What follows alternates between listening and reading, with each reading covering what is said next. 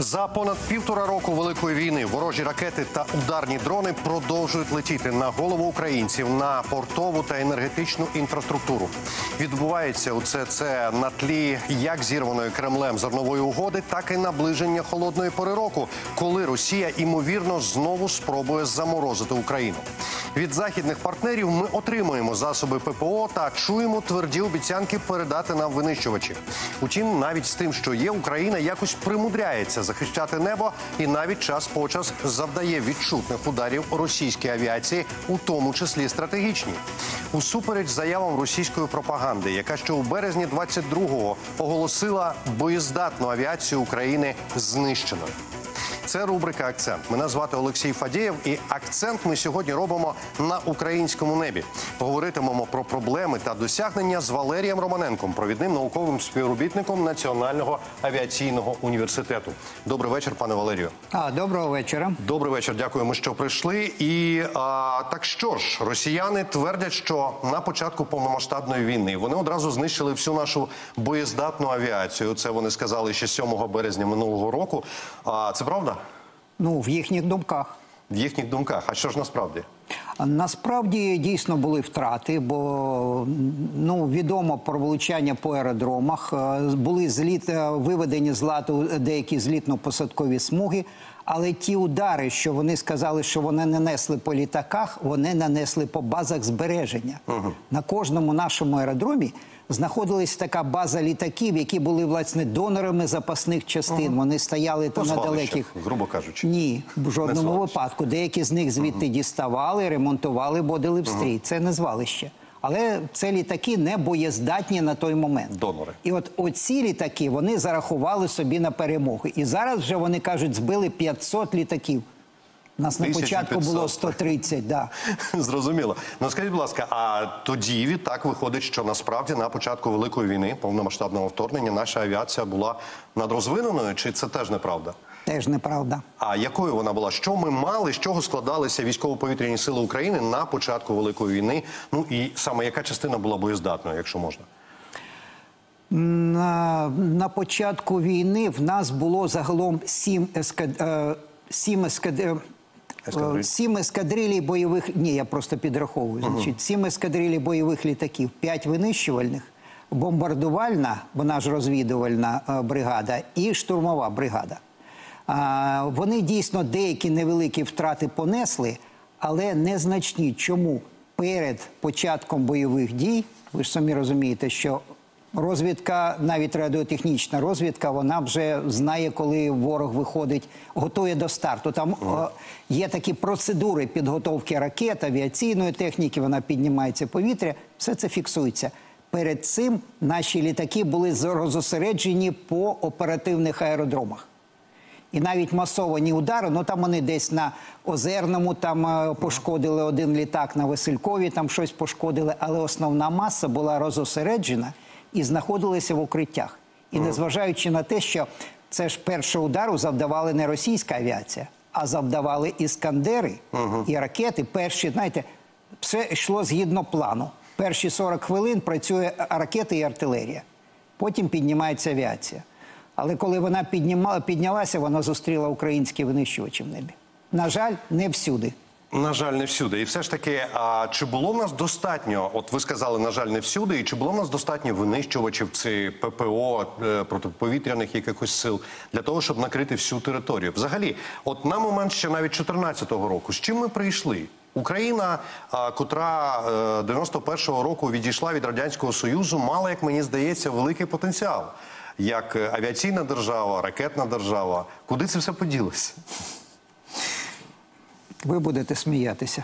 Ні, не буду. Не будете, Точно да. не буду. Хоча да, дійсно це не смішно. Воно Не пішло на фольгу для підготування курочок фрі. Да? Серйозно.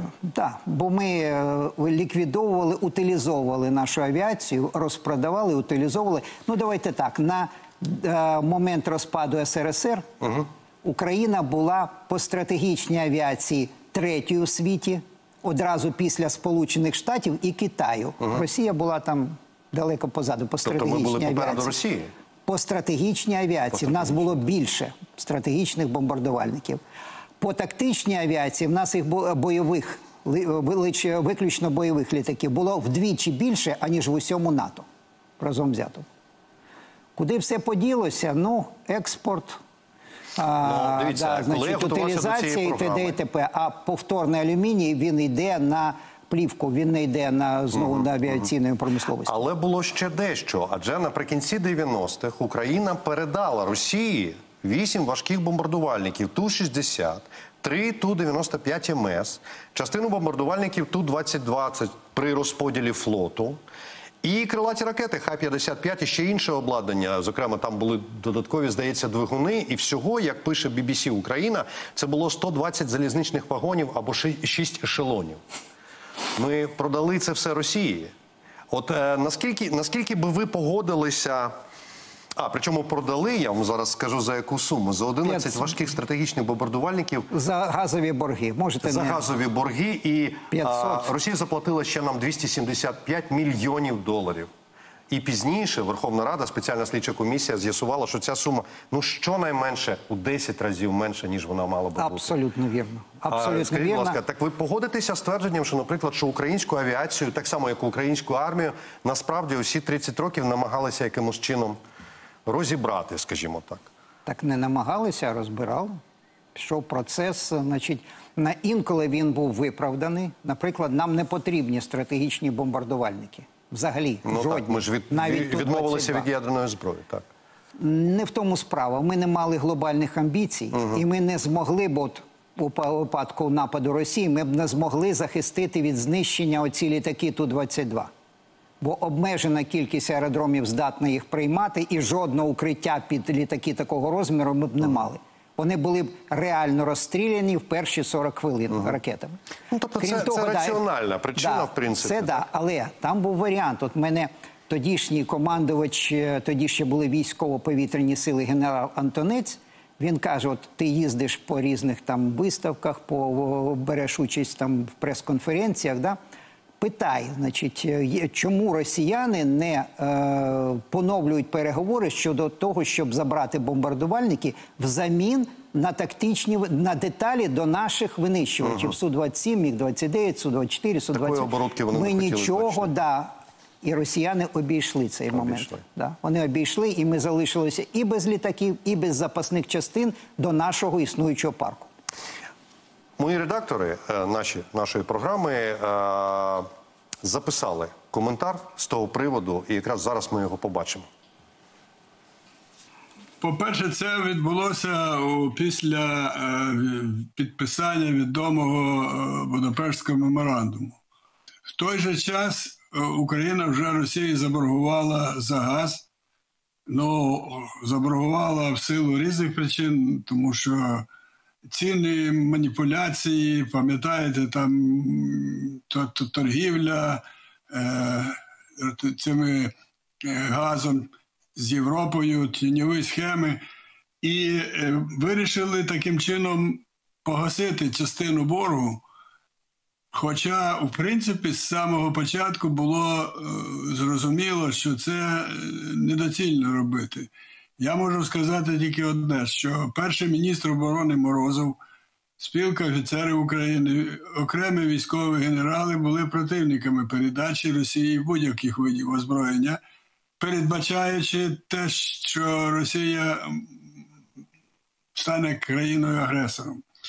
Керівництво держави цього не розуміло, і багато із представників було не зацікавлено.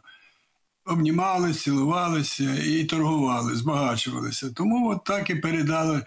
Це був, це був легковажний крок, за який ми сьогодні е, розплачуємося. Уже, вже тоді повним ходом роз, розцвітала е, корупція. Пригадайте справу е, Лазаренка. От і, так далі. Тому альтернатива, альтернатива була. Е, Не потрібно було після перших років, на, на перших роках незалежності е, створювати в Україні е, корупцію. Ось такий коментар від пана Скіпальського. А скажіть, будь ласка, от е, ну ви вже частково відповіли. От якби в нас е, були стратегічні бомбардувальники, то малюнок війни, що називається, сильно би не змінився. Так як ви сказали раніше, Абсолютно за 40 були, хвилин би- були гроші витрачені на утримання цих бомбардувальників, пішли б на вітер. Тобто, в принципі, як би то не склалося, якби це склалося іншим чином, то нам би це все одно не допомогло. сильно. А от ракети нам Ракети. би дуже допомогли. Зараз ми б не мали проблем. 575 ракет, не враховуючи ще ракет Х-22, які ми е, весело знищували під Житомиром, значить, на базі. Звозили ракет і ще туди. в да. 10 разів дешевше Х-22. Так. До речі, ракети, які ми віддали, перші їх серії, будувалися на Харківському авіаційному заводі, а двигуни до них на Мотор Січі. І Тобто от- ми ці ракети могли переробити на земля е, поверхня-поверхня, і зараз від Росії летіли б друзки на відстань ну там не менше тисячі кілометрів. А Скажіть, будь ласка, є ймовірність того, що якраз в Запоріжжя і в Харків прилітали ті самі ракети, зроблені там? не ймовірність, а по е, ми ж передавали по списках. Списки залишилися по серійних номерах. На борту кожної ракети написаний її серійний номер. Ну його називають чи формулярним номером, так, чи заводським так, ми точно номером. знаємо, да? де що було зроблено. Так от перевірили, і щонайменше 10 ракет це те ті самі, які ми віддали тоді Росії. Зараз ще одна невелика довідка, яку підготували наші редактори. За даними міжнародних експертів, перед широкомасштабним вторгненням Москва мала у своєму розпорядженні 42 літаки Ту-95 МС. З них, за оцінками експертів, реально діючими є лише біля трьох десятків. Також Росія має принаймні 15 літаків Ту-160. ЗМІ також звертають увагу, що останніми місяцями Російська Федерація почала активніше використовувати саме Ту-95 МС, а не більший і важчий Ту-160, який несе стратегічні крилаті ракети Х-55 СМ. В принципі, е, на тепер ми вже знаємо, що Росія зазнала ще й великих втрат, але зараз мова не про них. А що ми маємо? От що з авіації має Україна зараз? Наскільки ефективні взагалі наші засоби, те, що ми маємо на тепер?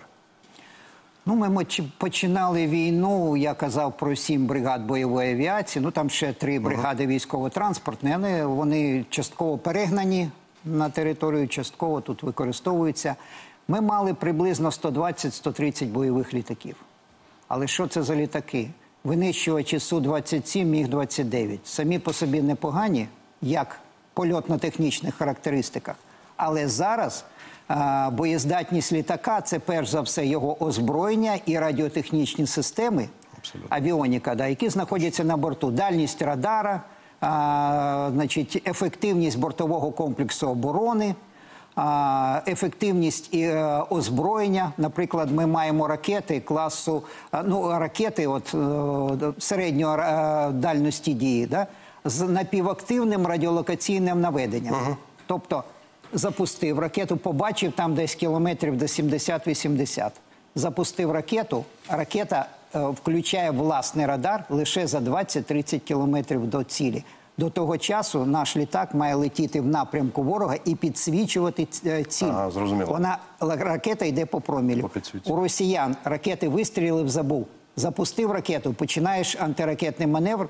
Через кілька там якийсь період часу ще раз включив коротко, радар. Якщо наш літак маневрує, значить він підправив цю ракету або передав своєму літаючому радару. Той, той буде направляти ракету. Тобто, пам'ятаєте льотчика Джуса? Він сказав, коли він розказав американським сенаторам, це сказав, е, вони е, зробили висновок, каже, ваші льотчики літають як камікадзе. Тим паче на перших порах ми робили спроби, значить, цю подолати цю значить, розбіжність. І як мені казали льотчики, до 1 травня було кілька ближніх повітряних боїв. От і там були навіть виграші з нашої сторони. Але до ближнього повітряного бою треба, Треба дійти. дійти ще так. Да, а зараз стріляють за 70-80 кілометрів, так до 40 кілометрів. Так званий загоризонтний бій. Фактично, як на як комп'ютерній грі. Ти не бачиш ворога. І що виходить, що от наша авіація вона ефективна, ну наприклад, на фронті, чи вона лише ефективна там не, не в боях, а наприклад, як ППО, як частина ППО? Вона ефективна і так, і так, але розумієте, в нас, по-перше, мала кількість літаків. По-друге, ми маємо остерігатися. Бо у росіян дуже щільна протиповітряна оборона, ну як для району бойових дій. Там є і С-400, і С-300, і С-350, і буки їхні, і, причому модернізовані буки. І С-300 теж модернізовані, не такі, як в нас. І ті самі панцирі, і тори, тобто в них величезна кількість. І, наприклад, наша ударна авіація може наносити удари тільки тоді, коли ми отримуємо інформацію, що тут або пошкоджене, або, значить, там не така щільна протиповітряна оборона, і тоді і нема винищувачів в повітрі. Бо з російськими винищувачами на рівних ми взагалі не можемо вести повітряний бій. Ще раз, в нас застаріле обладнання і озброєння. От. Тому наша авіація обмежена в своїх можливостях, хоча льотчики роблять все можливе і навіть понад більше цього, але знаєте, навіть найкращі льотчики не здатні подолати відставання Ну, в так, вони ж технічному не самі собою літають. І ще один коментар, який взяли е, наші редактори, це Юрій Ігнат зараз. Сьогодні е, Сполучені Штати та їх союзники мають надійну систему протиповітряної оборони. Є система ПРО, як ви знаєте, це глобальна система, це парасолька, яка охоплює усі країни, які є партнерами по е, Північно-Атлантичному альянсу. Так само Сполучені Штати мають систему ПРО, е, якою охоплюють власне всю Північну Америку, і ну це мається США та Канада. Е, Таким чином, е, колективна безпека це значно зручніше, значно перспективніше.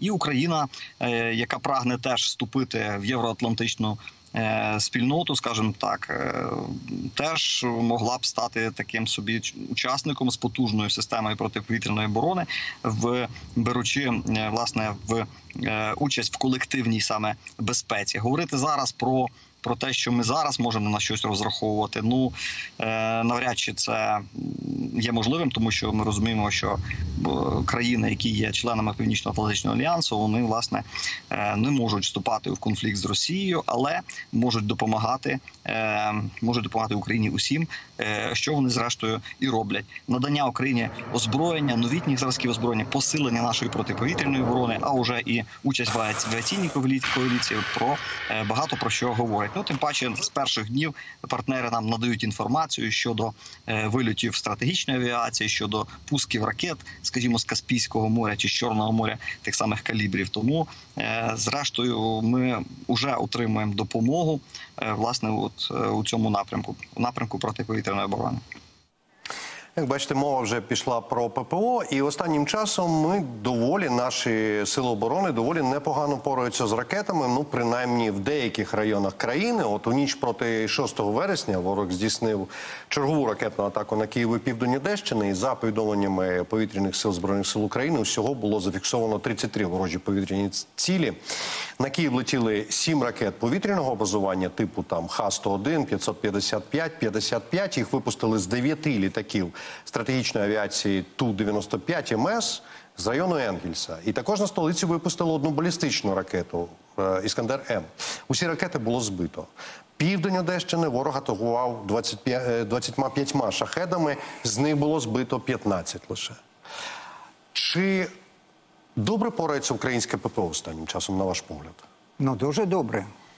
З тією кількістю зенітно-ракетних комплексів, які ми маємо, з тією кількістю винищувачів ППО, які ми можемо застосувати для оборони нашої території, ви бачите, по Києву 100%. Угу. По Одесі там, на жаль, така ситуація, знаєте, приморський приф... ну, він не прифронтовий, але приморські Приморський. райони, да, там важко, там важче. Там і перед час, Одесою, да, не можна поставити зенітні е, комплекси, а е, туди не можна підтягти далекобійні Петріоти чи сам ПТ. Да? Значить, там, а, ну, тобто є проблеми з такими місцями. Да? Але загалом протиповітряна оборона показувала весь рік, ну, другу половину, скажімо так, навіть з кінця, починаючи з кінця минулого року, показувала 85 е, 80-85% збиття всього.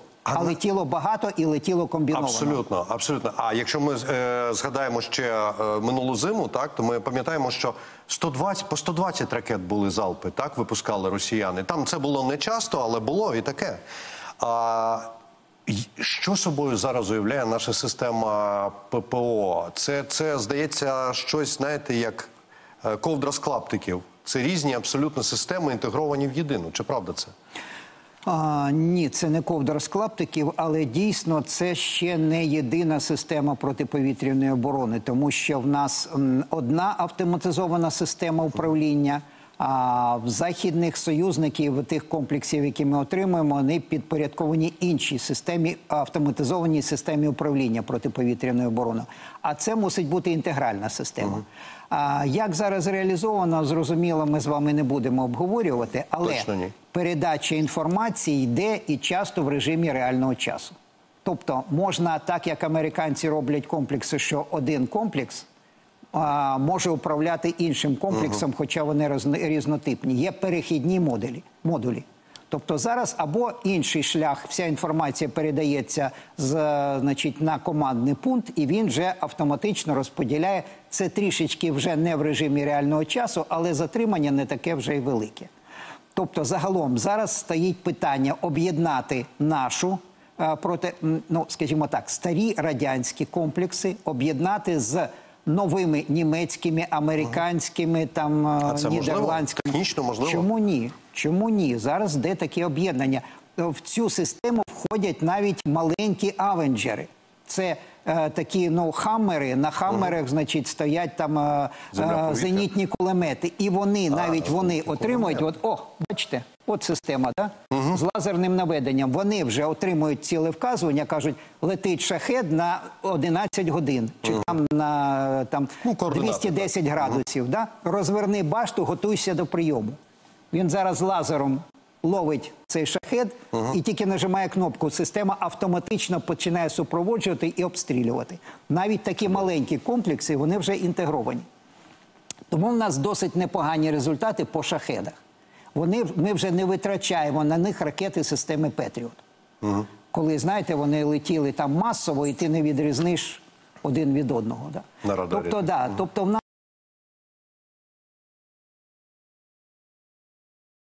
один комплекс С-300 у нас було і пріс, трохи більше від 70 буків. Втрати за півтора роки війни, звичайно, ми понесли. Але нам дали системи, які більш ефективні. Ну от а, творці Арісте сказали, що лише один комплекс Арісте за рік знищив 100 цілей. Понад 100 цілей, бо це вже результат І десь і там тижнево або, 100, тиждень або назад. майже 100% е, Да, і вони кажуть, що значить е, 100% надійність цього комплексу. І це комплекс середнього разу- радіусу дії якраз на заміну втрачених буків. Ну і тим не менше, наш ворог ніяк не заспокоюється. От е, 4 вересня президенти Туреччини і РФ провели перемовини в російському Сочі, як ви знаєте. І От однією з важливих тем була зернова угода, відновлення. І от у ніч проти дня переговорів якраз Росія здійснила чергову атаку на українську портову інфраструктуру на півдні Одещини, а також на Миколаївську, Дніпропетровську області. Українські сили оборони тоді збили 23 з 32 запущених шахедів. Два ворожі дрони впали, вибухнули взагалі на території Румунії. Щоправда, румунська сторона не визнає це. Вже визнала. Вже визнала. Сказала, що деталі впали, так? Але тим не менше сказали, що там загрози прямої не було, наскільки я розумію. Тим не менше, загалом, 17, 17 липня, відколи Росія вийшла з зернової угоди, ворог вісім разів атакував порти України і знищив, зокрема, 270 тисяч тонн зерна. І от е, чи намагається Росія використовувати в тій ситуації, коли наземна операція, так, СВО, вона іде по плану, тобто не йде ніяк або натикається на абсолютно е, спротив серйозний і навіть на контрнаступ, як би вони не говорили, що його немає. Чи намагається Росія піднімати ставки, використовуючи свої сили там повітряні чи там протиповітряні, повітряні, скоріше за все, бо шахеди до чого вони там у них На е, сухопутка. сухопутні війська, але тим не менш, використовуючи повітря, так чи намагається Росія використати його як політичну, от конвенційну зброю для підняття ставок? Ну, уявіть собі ситуацію. Значить, е, ви в темному провулку, до вас підходить бандит і вимагає від вас е, цього Телефону. гроші, Інші телефон, гроші. що завгодно. Щоб ви переконалися в його серйозності намірів, він має помахати ножиком перед вами. Абсолютно. Так, Росія 90 країна бандит. Та сама, та сама технологія, той самий підхід. А от е, яка за цим стоїть логіка, на вашу думку? От вони що намагаються, що типу довести чи показати, що от, мовляв, Україна не здатна там захистити порти. Відтак там доля міжнародної цієї там зернової угоди залежить виключно від волі Росії. Так, от погодиться Росія, буде зернова оборот, ну не оборудка, а угода, зернова зділка. Так а не погодиться, не буде. Що хоче, то і робить. Чи не так? Ну, це вже скоріше до економістів, політиків, да, до політиків. Мені важко сказати, але в них ще є додаткова така мета, чисто військова, трішечки розтягти протиповітряну оборону. Власне, те, що ми зробили ударами по Москві наших дронів. Ми теж розтягли їхні засоби протиповітряної оборони під Москву стягли. З Ну, ми ще фронту, про Москву тилових районів. Але щодо от рекомендацій, нашій протиповітряній обороні, е, ну взагалі, от ми здатні захиститися тим, що є. От на тепер ми не говоримо, що нам ще поставлять. От вчора Блінкен був у нас. Але от на тепер ті засоби, які є, вони здатні захистити принаймні на скільки відсотків, навіть не знаю.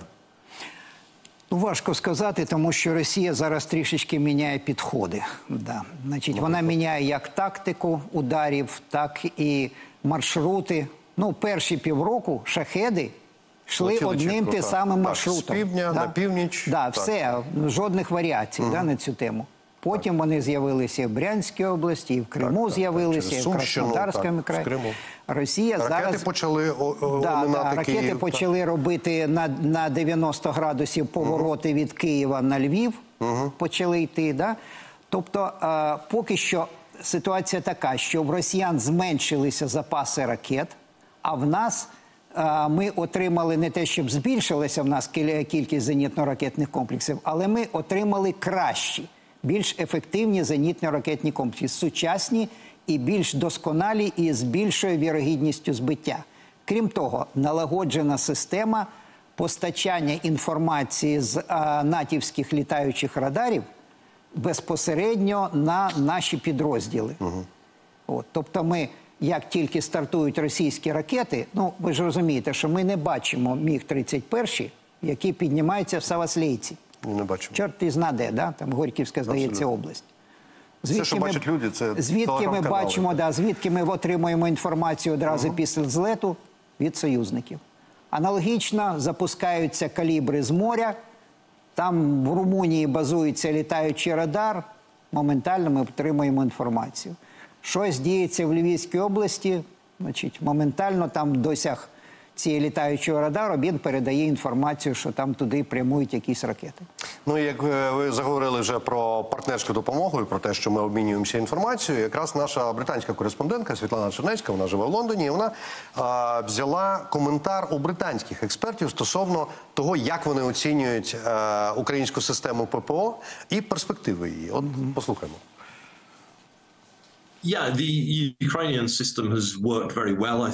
Українська ППО зараз працює дуже ефективно, на мою думку. Тим паче, що вона постійно стикається з різними викликами, коли мусить працювати проти комбінованих запусків, де росіяни використовують різноманітні дрони, різні типи ракет, які не відрізняються точністю, або ж ракети, які запускаються авіацією з глибини російської території.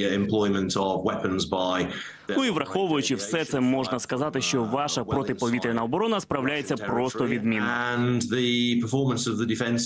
Звісно, не можна очікувати, що буде збиватись просто кожна ціль, яка прямує до вас. Але висока результативність вашої ППО, напевно, вже стала просто дуже неприємним сюрпризом для російських військових. So I think that some form of cooperation and collaboration would be entirely legitimate. Я вважаю, що могла би бути створена якась форма кооперації між Україною та сусідніми країнами, якщо не в питанні, як і хто буде збивати цілі, а хоча б у контексті обміну даними та спільного контролю повітряного простору між вами та румунською ППО або між вами та польською ППО, ну і так далі, залучаючи тих сусідів, які захочуть працювати в цьому питанні. І ось такий е, коментар. І остання його частина стосувалася створення якоїсь спільної системи. Якщо е, Європа. Я не знаю, наскільки в Європі думають і готові насправді взяти Україну в НАТО, але в Європі точно розуміють, де агресор. Принаймні а, зараз, так? І Останній коментар це був про ймовірність створення такої спільної системи, у якій би була в тому числі Україна, яка вже показує результати і яка вже обмінюється даними з, наприклад, натівськими так системами. Як ви вважаєте, Вона така не система обмінюється, вона отримує. Отримує, перепрошую, так. Нам а, вони не потребують даних від нас, бо вони не визнають падіння, як правило, до останнього не визнають ударів по їхній території, щоб не створювати якісь складності. Значить, дивіться, зараз е, під'єднання західної е, поти- е, протиповітряної оборони до України неможливо в принципі. Угу. Чому? А вони не хочуть брати у прямої участі в бойових діях. А це вже через повітряна оборона. причини, Да, одна справа це інформаційна складова, інша вогнева складова. Але є проміжний момент, який загалом не протирічив би цьому. Можна було б сказати, що оскільки ракета впала в Польщі, шахеди падають в Румунії, значить, давайте 30-кілометрову смугу над Українами. Це вже е, е, небезпека для нашої території. Так все, що тут з'являється, ми будемо збивати. Нам Україна дає дозвіл, ми будемо збивати. З того так що, боку, будь ласка, з, не літайте з, так. З Польщі, з Румунії і так далі. Да, да, е, е, комплексами зенітними, е, значить, натівськими, національними, не натівськими, а там румунськими, місцево, польськими, да. словацькими, там, значить. Прецеденти є. Туреччина також попереджала росіян колись там 14, не літайте, не зрізайте. Там такий виступ був, а росіяни напряму зрізали його. Ну, один раз отримали, збили. І це не буде прямою участю, бо це захід їхньої, їхньої власної території. Це не суперечить, здається, п'ятій статті, да, якщо не помиляюся, що це захист, е, е, загальний захист, бо радари будуть натівські, да, а засоби ураження будуть вже національні. Да? От, але вони об'єднані в систему. Тобто таким чином можна було б домовитися. Вони захищають власну територію. Бо якщо крилата ракета прилітає на 30 кілометрів, прилітає на 30 кілометрів, да? то висока вірогідність, що вона таки попаде на їх територію, якщо вона рухається в тому напрямку. Да. Ну, Просто 30 це умовно, умовно, да, умовно. Ну, де можна сказати і 10, а скільки там вже буде, значить, ну де там пала ракета, хто буде на неї дивитися? І це було б частковим вирішенням питання оборони Ужгорода, того ж самого, і цілої низки міст, цілої низки транспортних прикордоння, артерій, так. да, по яких значить, ми отримаємо постачання. А, дивіться, чому я поставив це питання? Тому що а, таким чином, якби створення такої системи бодай було відкладено на перспективу, уже зараз нам би могли постачати якісь елементи цієї системи. От, наприклад, F-16 може бути елементом такої системи. Чи Ну нащо його як елемент? Хай він буде елементом нашої протиповітряної оборони А, напряму. Не так. потрібно цих перехідних процесів, да, які так полюбляють, значить, західні експерти, що значить, ой, західні політики, да, що ми споки довго-довго будемо обговорювати, да, а потім значить, щось дамо. Е, Їх е, ми нам вже обіцяли ці літаки, і ми маємо їх отримати на початку наступного року. Навчання почалися в кінці серпня всі за- загалом всі інстанції, значить, погодилися, що півроку мінімальний строк навчання пілотів для того, щоб вони не просто вміли літати, а вміли а, воювати на цих літаках. А чи достатньо півроку? Достатньо для цього? Ну, подивимося, але хоча б завдання протиповітряної оборони це вже достатньо. Недостатньо для досконалої тактики прориву протиповітряної оборони, нанесення ударів по ворожій території, недостатньо для повітряних боїв з російськими винищувачами, але достатньо, щоб відганяти штурмовики і ударні російські ударні гелікоптери від нашої передової, і достатньо для того, щоб нищити крилаті ракети і шахеди над нашою територією. Ну, от Юрій Ігнат нам з цього приводу теж дав коментар. Зараз подивимося. Дуже обережно треба з цифрами, е, тому що е, ну ескадрилі, по-перше, є різні. У нас ну, це 12 літаків, натівський зразок ескадрилі це 18 може бути літаків. Тому е, кількість може бути різною. Тому там прив'язуємося власне до цифр е, умовно. Е, те, що вже оголосили партнери, це понад 60 машин. Зрозуміло, що Це ну, доволі така велика кількість, тому що оголошувалось про 128 літаків взагалі в моделі е, перспективній повітряних сил на мирний час, плюс ще е, можливо інший тип там три десятки літаків. Тому е, те, що ми будемо отримувати їх не усі і не одразу, це очевидно, це зрозуміло, тому що е, тому що неможливо це зробити одним махом, скажімо так. У нас навчання пілотів іде е, поступово відправилась тільки перша група пілотів. Так само з ними паралельно навчаються інженери військові, інші е, офіцери наземних спеціальностей, авіатори. Тому е, і надходження літаків буде власне поетапним. Як тільки пілоти будуть готові, інший інший наземний персонал так і будуть постачатись літаки. Очевидно, що треба їх е, ну можливо десь підремонтувати, десь модернізувати і так далі. Це вирішується в рамках нашої авіаційної коаліції. Е, Приймається рішення, яка саме кількість, в який час буде надходити е, в Україну. А F-16 змінять правила гри кардинально чи бодай хоча б трохи? А, і не кардинально, і не трохи. Значить, не кардинально, кардинально не змінять чому. Вони не зможуть на рівні вести бої з російськими винищувачами. Саме через недостатню підготовку пілотів. Перше, і друге, все ж таки, це легкий багатоцільовий винищувач. А у росіян е, основна маса це літаки Су, Су-30 СМ, Су-35, там Су-34, там модернізовані Су-27. Да, це літаки важкі винищувачі завоювання переваги в повітрі. В них більш потужні радари і як опція дуже далекобійні ракети. Але як опція, основні ракети вони поступаються в далекобійності, основні ракети середньої дальності, вони десь до 100 кілометрів. А якщо ми отримаємо F-16 з сучасними ракетами, то це 160 кілометрів. Там AIM, це AMRAAM, AIM 120 C8. Оце ракета, е, експортний варіант ракети для американських е, військово-повітряних сил. В неї 160 кілометрів. Тобто по дальності ми е, перевищуємо російські ракети середньої дальності, але в них як опція є ракети далекобійні. Вони там по дві підвішуються у разі там необхідності там ураження там нашого. Вони, до речі, так і збивали. Вони запускали, ну, наші літаки йшли, а вони е, з великої дальності запускали ці ракети, і літаючі радари доводили ці ракети. Бо у винищувача навіть не вистачало радара на цю дальність. Наш віртуальний співрозмовник Юрій Ігнат має ще щось сказати.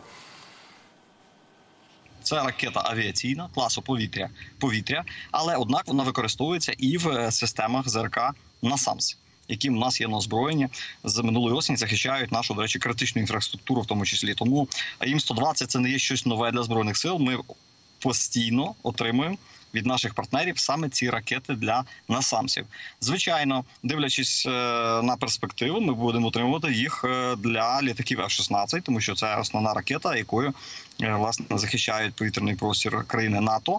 Ці ракети є теж певних модифікацій, різні модифікації, різна дальність польоту. Ну, одна із таких е, там найсучасніших і з найбільшим радіусом е, ураження. Це ракета М120 Амрам, яка може вражати е, до 180 км повітряні цілі. Зрозуміло, якщо ми отримуємо літаки, так то зрозуміло, що треба буде замовляти до них озброєння. Те, що замовляють їх аж там на осінь 24-го року, це не говорить про те, що літаки з'являться саме в такий час, тому що е, є певна кількість цих е, ракет е, уже е, на складах, очевидно, в країнах НАТО. Ми можемо ракети отримати швидше, але Україна, беручи на озброєння F-16, повинна постійно поповнювати і е, ракети, і е, керовані авіабомби, і інші зразки озброєння. Тому те, що замовляють на перспективу, це доволі таки ну це нормально. Ми не говоримо, і наші партнери, е, коли говорять про е, боєприпаси, про ракети, зокрема зенітні, ну жодного разу не вказують, який це тип якої дальності. Тому е, має бути якийсь секрет правильно в цьому, щоб ну не давати ворогу розуміти, який саме тип озброєння ми отримаємо, в якій кількості. Пишуть завжди е, у тих власне е, додаткових поставках озброєння, які списки оприлюднюються регулярно, завжди пишуть додаткові системи або додаткові ракети до зенітних ракетних систем. От власне цього разу теж так толерантно сповіщають партнери про те, що будуть допомагати Україні цим типом боєприпасів. Якої буде дальності, ми вже побачимо, коли вони будуть у нас на літаках. Дальність дальністю, але вся західна зброя, принаймні на тепер, до нас надходить з одною оговоркою, мовкою. Лише для визволення українських територій, для виходу там на кордони 91 року, але не для завдання завдання Без, ударів. без ураження без ураження да, цілей на території Росії. Але тим не менше, тут нам на допомогу надходять новітні технології, дрони. Навіть там Wall Street Journal вже написала, як добре українці розробляють дрони і штучний інтелект туди там, значить, підвантажують і не знаю ще щось робити. Дрон краще за літак в сучасному світі. З е, тієї точки зору, яку ви тільки що сформулювали, дійсно так. Бо, на жаль, ракет ми маємо обмаль.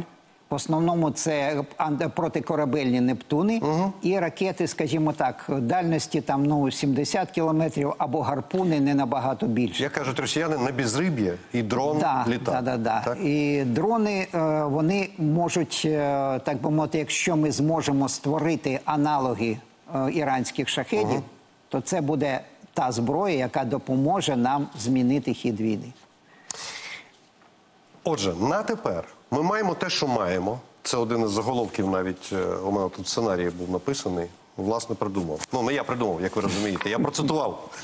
Класика. А, так, так, класика, абсолютно. Маємо те, що маємо, і з цим а, що ми можемо зробити? Справа в тім, що Росія, е, як правило, транслює, ну не знаю, на Україну, на світ три головні наративи. От перший це той, що Україна не здатна захистити свою там сво- своє повітря, своє небо. Ну це правда, що вона що ми не здатні. Чи все ж таки ну ми говорили про те, що ми щось можемо в цьому сенсі? Ну, дивіться, значить, навіть в минулому році, да, з 1 квітня жоден російський літак не залітав на територію, контрольовану нашими збройними силами. З 1 квітня 22-го року, підкреслюю. І дотепер, до сьогодні. Абсолютно так. І вони останнім часом не підлітають ближче 3-4 кілометрів до лінії бойового зіткнення. Все оце ареал їхньої діяльності. Все, що значить там, де знаходяться російські збройні сили, і 3 кілометри до України, не більше. Так ми здатні, ми здатні захистити. Здатні, абсолютно. Я теж те, що- Ракети е, збиваємо всіх видів, включаючи балістичні кінжали. Гіпер, супер, квазі. Це, це ще один, одна тема. Наступної зими Україна замерзне знову, ну як минулої зими. Е, Росія готується, розвідує цілі, як каже СБУ. Тобто вони готуються до цього генерала Мороза номер 2 Ну, звичайно, що готуються. Ну це ж е, бандита, яка ідея, значить. е, махати ножем. Да, як махати ножем, сказали. значить, готувати, і головне, а, значить, вони а, хочуть це зробити, і вони натхненні цим. Бо я минулого року читав російські пабліки, заженемо хохлів печери, А, без світла, запалює, без води, без зв'язку. Да, в них розумієте, це такий підйом. Значить, вони когось принизять, знищать. вони ну ти- це ж національна так. гордість, Так, ну, це ж предмет. Абсолютно, так. Да. Ще вони дуже люблять е, розказувати про славу руського оружия. І це третій тезу, яку вони нам Ну, закидають. про славу руського оружия е, поки що нема підтверджень. Знаєте, є тільки сором. Є крейсер Москва, є знищені стратегічні бомбардувальники, є три відступи: Київ, Харків, Херсон. Да? Поки що нема чим похвалитися, бо слави тут нема жодної. Є слава Бучі в них. Пане Валерію, ми сьогодні так побіжно розглянули проблему неба, так ППО, трошки літаків, трошки дронів, зовсім побіжно, і поговорили е, про те, чи, чи здатні ми на щось. Виходить так, що здатні. Я вам дуже дякую за цю розмову, тому що ну я думаю, що бодай якась е, якась ясність, якесь розуміння того, що не все так погано, як нам розказують е, з запоребріка, як ми самі кажемо. Ну, от. І е, що є якась певність в тому, що далі українська система ППО, українська авіація буде розвиватися завдяки, в тому числі і поставкам е, від наших партнерів. Я нагадаю, що сьогодні про українське небо ми говорили з Валерієм Романенком, провідним науковим співробітником Національного авіаційного університету. Не забудьте задонатити на дрони. Це маленький і не зовсім літак, але в нашій ситуації І це на дуже... маленькі, і на і на великі. дрони. Абсолютно. Пам'ятайте, що армія потребує нашої підтримки, навіть якщо ми з вами у тилу. Війна триває, вона не закінчується ані на день з тих пір, як почалася. Ну і марафон Єдині новини триває. Далі новини.